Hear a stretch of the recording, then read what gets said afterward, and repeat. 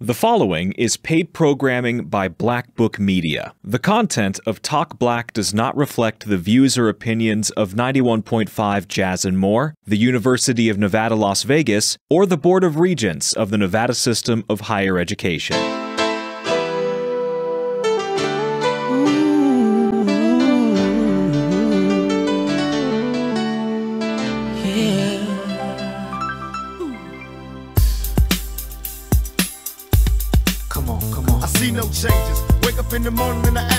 Greetings, this is Brian Harris with Talk Black as we talk about the issues in our community and yours. You know, folks, the crazy season is coming above us now. Yes, I'm talking about the political season.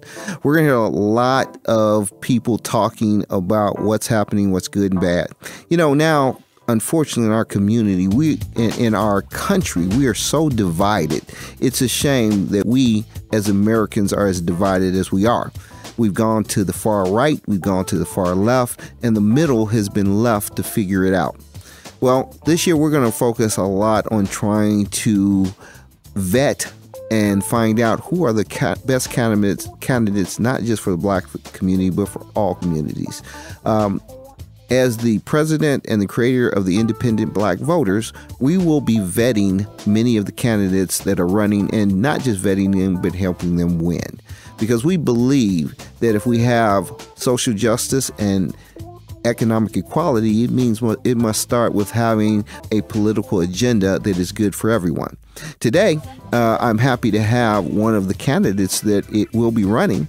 He is his name is Tom Roberts. He is running for sheriff, folks. Now, let me tell you something. Who is the sheriff and who is the, who is the district attorney? They are major in our desire for social justice, for equality. I say this a lot as a black man. The black community wants to have policing. We want to have good policing. We do not hate the police. We do not want to defund the police as a all. We just want to have equal justice. We want to have people who will come in and understand what not just our community is going through, but what all communities are going through in these hard econ- economic times. So today, uh, I invited, and at the last minute, Tom Roberts to come out and talk to me. We spent some time talking last night, but and I asked him, "Hey, can you be here today?" And he said yes. So, Tom, first of all, thank you for at such a short notice coming over here to talk black. Hey, thank you, Brian. Thank you for having me. And uh, look, when people reach out and I got the time available, I'm, I'm always uh, ready for conversation and interaction. Great, great. So we're going to start off by letting you tell us a little bit about you. Uh, well, uh, a little about me. Uh, so I grew up in Western Kentucky. I entered the Air Force at uh, at 19. Uh, it was uh, I didn't really do well in uh, community college, and so I wanted to make something myself. And thank goodness the military was a path for me. So I joined the military and I fell into law enforcement. It, it kind of picked me. I went in open general and uh, it picked me. And so I spent nine and a half years there. I met my wife there. Uh, we've been married this past year, uh, 33 years. Uh, so I uh, was stationed at a couple bases and ended up uh, out here in Nellis in, in 91. And I'd always wanted to get into civilian law enforcement. and so I we loved Southern Nevada. I, I, liked what it offered. We thought this would be a great place to raise a family. And so I got out of the military and joined the Metropolitan Police Department, where I spent uh, 24 and a half years there. Uh, while I was there, I rose to the rank of assistant sheriff and I retired in 2018.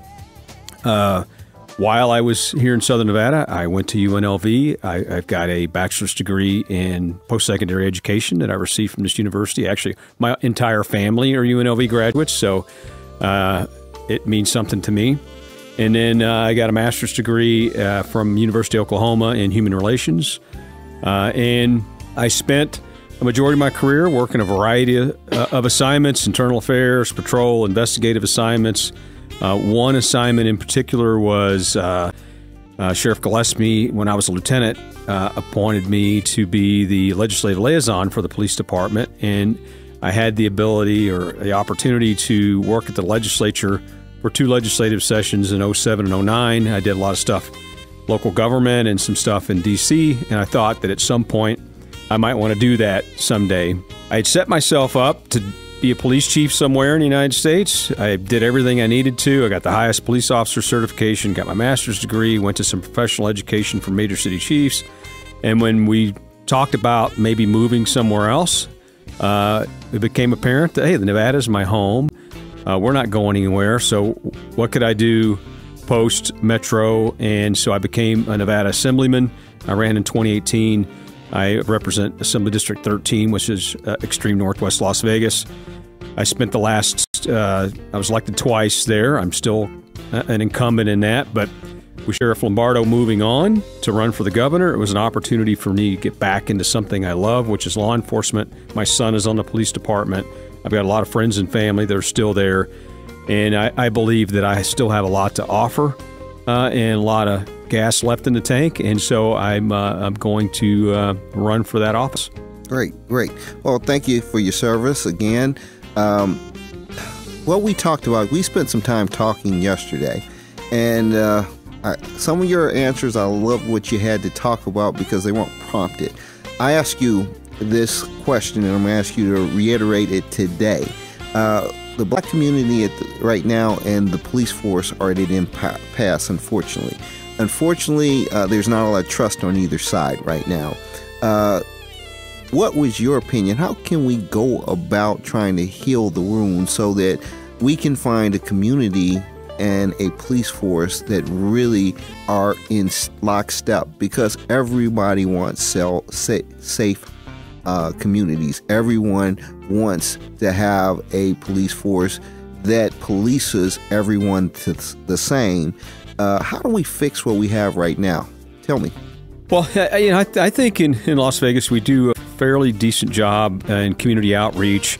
We do a lot of community policing efforts, but I just don't think that we're we're interacting and and uh, collaborating with everybody in every community. And I, I, think we need to expand what we do, particularly in uh, in poor neighborhoods and, and, and, neighborhoods that are struggling. Uh, we're not reaching everybody, uh, and, and I, I, don't think we're reaching our youth as well.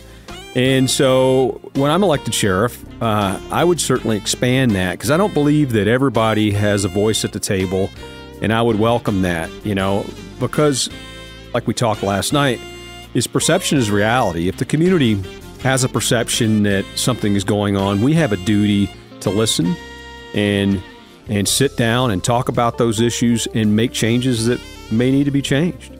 Absolutely, absolutely. You know, we talked about a lot of issues. One of them that uh, really hit home was we talked about the need to kind of look at the way we police and, and it's not about giving tickets to the community. It's not about creating revenue. It's not about how many tickets that maybe a policeman is required to bring in. Because in a lot of ways, some people will say they're quotas, some people will say they are not quotas. We know there are quotas and there are requirements. We know that, hey, if I'm a policeman, the easiest place for me to deal with it if I am required is to go to the poor, the poor neighborhoods. So we need to figure out if there are quotas, how to destroy those quotas. We need to figure out how we can basically have more positive interactions than negative in- interactions. And I think that's a step in the right direction. Your comments. Yeah, I, I, look. I totally agree. In this, this past legislative session, I I signed on and co-sponsored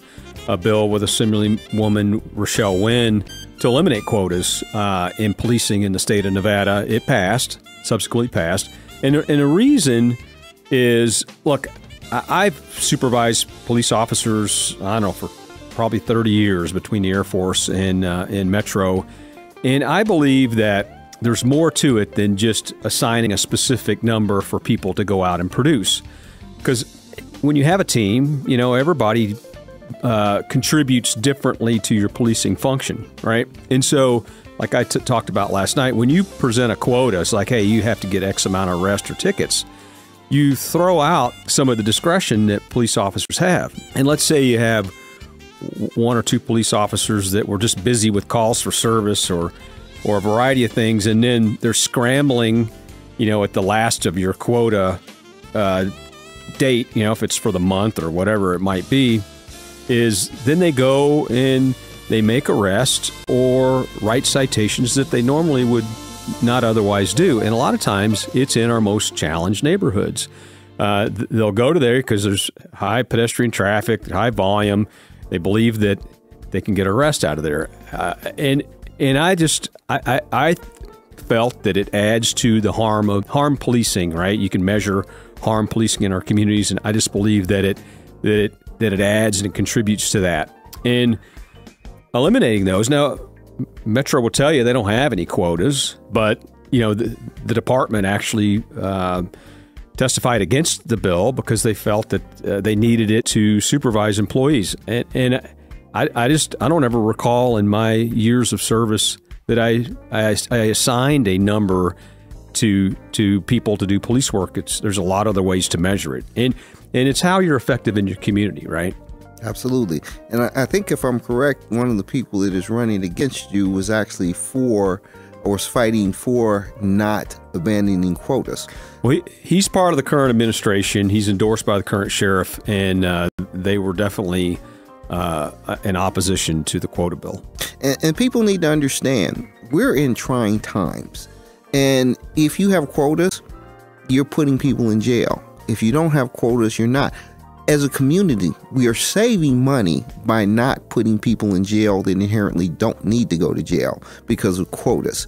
Uh, we create strife. We put those people who have the least in the crosshairs to have less of least to actually be in a in a position if they had a little bit, they lost it all because many times that creates the warrants, that creates uh, the jeopardy that the poor communities cannot continue to, uh, to, to, to, to, feel the weight of what I'm going to call unequal justice. Uh, so, part of what we have to do is understand putting the right people in, they will fight for having law and order. They will fight for equal justice because if we have equal justice and we have law and order, we have support for the police. It's that simple of equation. And if you can take certain things out of the equation, i.e., quotas, if we can get to be a community that doesn't want to lock up our own but wants to help our own, we will have a better society as a whole. So tell me, we talk some more. I asked you a question. I said, What do you think is the best way to reduce crime in our communities? And your answer was. Well, so I, I will tell you that I believe it's it's economics. Well, it's it's more than economics. There's like three things: economics. I think there's substance abuse issues and mental health issues. But I, I believe economics are really a pathway to reducing crime in our neighborhoods, and we've done some of that here. I think we've we've uh, revamped the, the West Las Vegas and and and took opportunities to uh, develop and bring in small business. But I think it goes beyond that, right? It, it goes into economic opportunities for business licensing. It's opening up the marijuana industry uh, to where it's not just to you know wealthy individuals and people that provide money. I think it's it, it it's providing uh, avenues for for people to be successful, and it there's a variety of ways you can approach it, but uh, government is certainly uh, a part of that.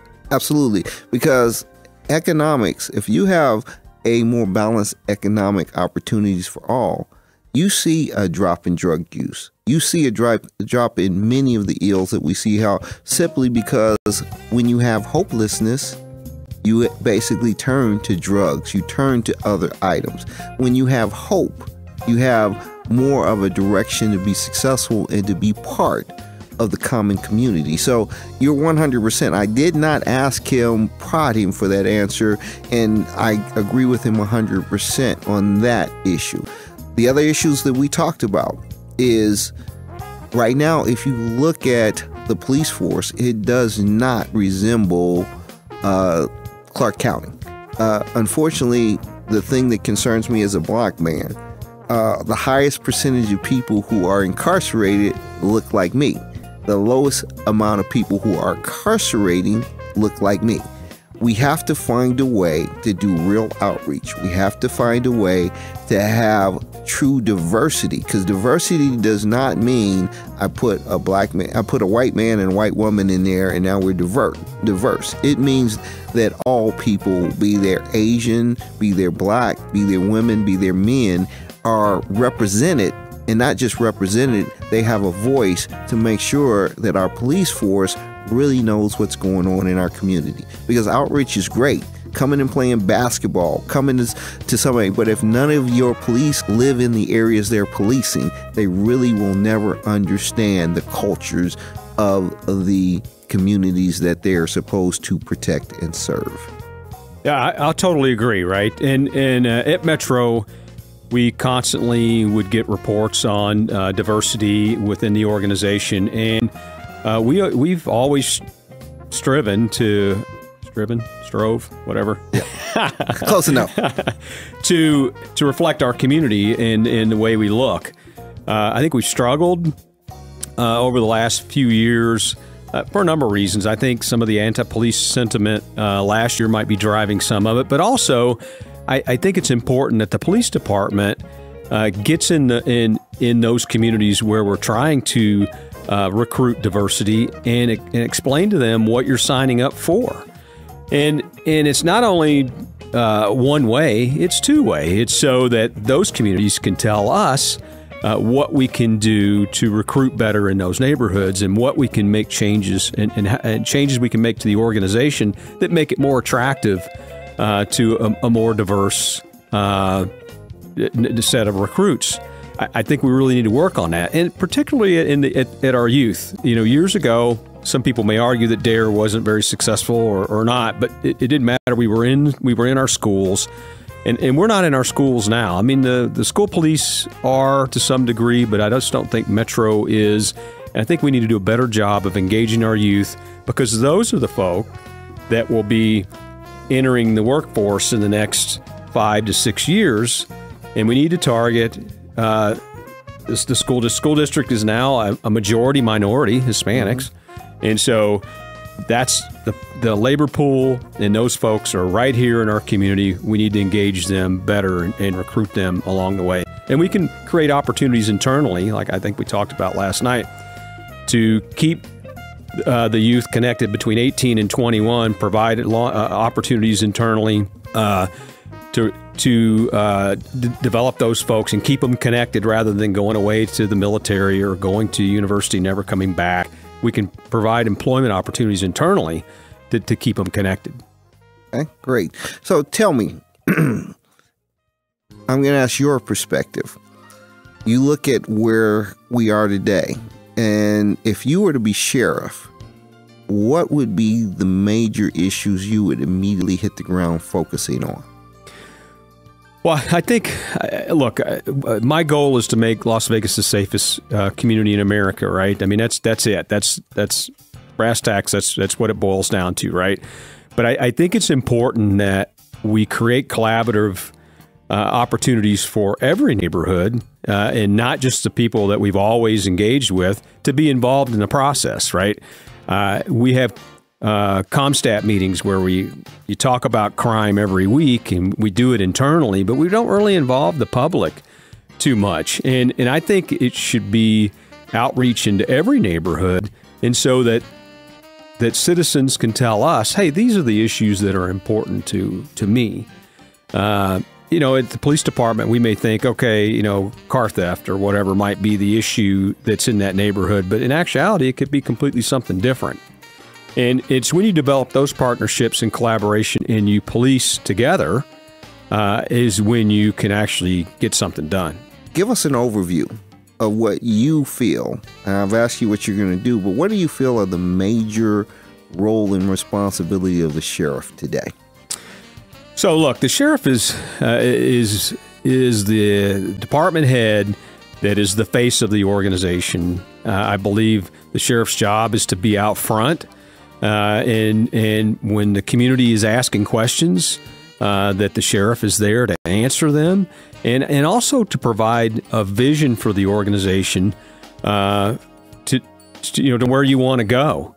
Uh, I I, be, I believe that we do have a strategic plan, but it just seems like that we're just limping from year to year to year. I, I believe that we need a strategic vision uh, to take the organization to the next level and really uh, revisit the way we community police. We're doing, a, I mean, we're doing a lot of stuff in communities in Las Vegas. I just don't think that we're we're hitting everybody in every part of town, and I, and I also think we need to change the culture in, internally. Is I believe there's some issues internally that uh, there's there's such a there's like a toxic environment internally, and I believe that translates into the way the police interact with the public on the street. If, if they're being driven to to get into certain neighborhoods and, and make certain amount of arrests and things like that, that translates into some bad policing and, and harm in the community. I, I, that's just my firm belief. Absolutely, because we talk, and I'll give you an example. As I said, black people support the police more than I believe the police re- realize. If the police come to mama and, and, and son did something, they're going to tell the police to tell them the truth. I mean, we support the police. Uh, we just, but we don't just want to have our babies put in jail for any little reason. And that's part of the cultural understanding. Again, playing basketball with them one thing, but understanding, you know, there's a, a, noise down the street, somebody calls the police. They don't want you to put people in jail. They want you to talk to them and, and get them right. to quiet down. They don't want to turn into gunplay. They don't want to turn into somebody getting right. killed. And that's part of really uh, culturally understanding and having people who understand the culture of who they're dealing with. So I, I agree with you. We're we're trying. We're going in the right right direction to some degrees, but we need to have more community input and we need to, I continue to say, have more people that look like me that are in the police force that have a voice for the community, not because they fit in with the status quo, but because they love policing and they love their community. I, I totally agree. And I think we need to embrace evidence based policing, right? And what I mean by it, it's not just a a term you throw around. It is scientifically, you look at what works in other jurisdictions, and it's been studied to be effective, right? And there's three tenets to evidence-based policing, and it's it it's not offender based, it's place based. So you work in certain neighborhoods, like we talked about, improve economic opportunities, uh, pr- provide uh, a police presence and interaction, things like that. Offender based systems don't work. So it's place based rather than offender based. You're proactive rather than reactive. And your strategy is, is narrow rather than broad. And if you have those three tenets, you're successful. And a lot of times we rely on the old stick and whistle arrest way uh, of policing. And I, I, think we need to get away from that.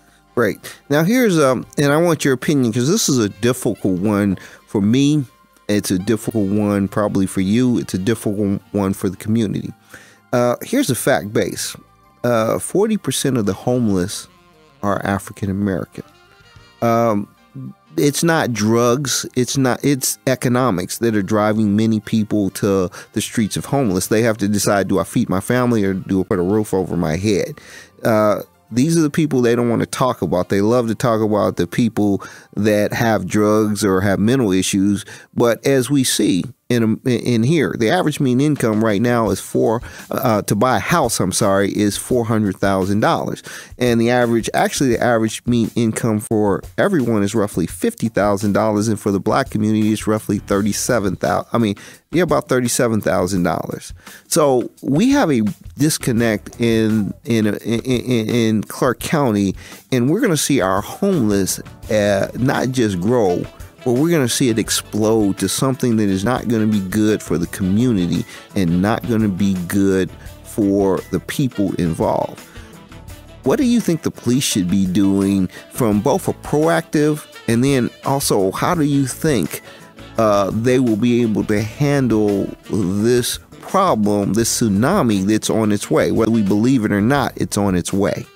Well, look, the police's the police role is to is is bottom line is public safety, but I think we can play a supporting role in in bringing these issues and working with uh, the other the other parts of government to, to, to help solve these problems. It's not just the police. The police are like left to deal with it when when the the you know, when the citizen calls and complains about homeless, we have access to lots of data. We have access to to what's going on in the street, and I believe we can play an integral role. As a legislator, I will tell you that I have been pushing for the last year to use some of the American Rescue Plan dollars. We have an opportunity, we have billions of dollars, and we have an opportunity to move the needle in some things that have really been uh, lagging here in, in, Southern Nevada or in Nevada as whole. And one of them is is homeless, right? And so I've I've been working. Uh, I, I, had a gentleman. Uh, my son works at a restaurant downtown, and he, he told me one day he's like, I got a guy that comes in and he builds tiny homes, and he's trying to give them to the city, right? And he can't get anywhere through the system to give them to the city. They got the city has through eminent domain is is taken several lots, and he, he just can't get through the he can't navigate through the process. Like, well, look, give him my number, and I'll I'll help him out. So I connected him, and I can't remember the lady's name, who is actually the governor has uh, put in charge of of the homeless issues in the state, and, and it's there's tiers, right? So you you have the folks on the street that need transitional housing or temporary housing, right, to get them through a, an evening and and you know and get them you know some immediate shelter to get them out of the elements. Then there's transitional housing uh, that allows people to get in some housing, get a job, you know, get back on their feet. And then the next step is, is affordable housing, right? Mm-hmm. Just as you mentioned, is uh, my son's on the on the police department. He makes a good. He can't even. He can't get in a house, right? And he makes more than what we talked about the average income is. And so those are all challenges that we have, and we need to come up with uh, solutions to those. And I think the police can play an integral part of that. I, I agree with you. Uh, they can. They have a part. They have a part. Uh, and as I said, there's a realization that this tsunami is coming.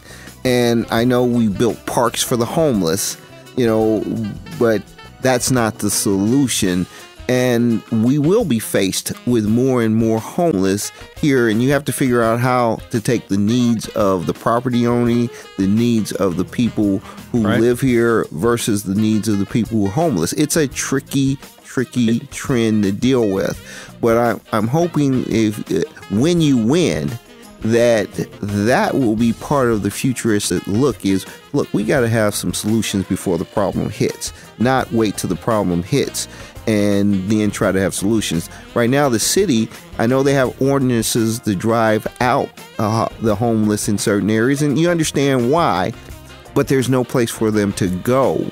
So they've got to live somewhere. And right now, uh, until we get serious about addressing the issues, the police will be the ones who will have to end who will have to handle this issue. And this should be part of creating a proactive plan to address the tsunami of homelessness that is headed to Vegas because it is coming. I totally agree. You know, Metro has teams that specifically deal with uh, the homeless, and, and it's not just Metro. It's it's other folks from from other portions of government that consistently do outreach. But I think we need solutions uh, for, and options for people on the street. Great. Hey, we're getting to our last minute. So I wanted first, Tom, thank you. Tom Roberts, he is running for sheriff. Uh, I have my hat on as the independent black voters on Facebook. We will be vetting a ton of candidates as we try to help bring back the middle. Be you Republican, be you Democrat, we want you in the middle, not to the far right, not to the far left. And that only happens when we vote. Again, let me say that. That only happens that we, the people, vote. I am proud to say that we have decided to endorse Tom Roberts for sheriff because we're looking for sheriffs that understand are willing to work for the community and the police so that we can bring each other together because we're stronger together. And many of the times when we take a look at it, we'll find out we're looking for the same thing. So, again, Tom, uh, as the creator of the Independent Black Voters on Facebook, we are going to endorse you and hopefully help you win.